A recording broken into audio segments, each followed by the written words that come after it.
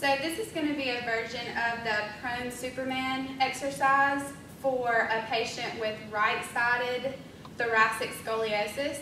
So for them, we would want to primarily strengthen the muscles of the right side of the spine.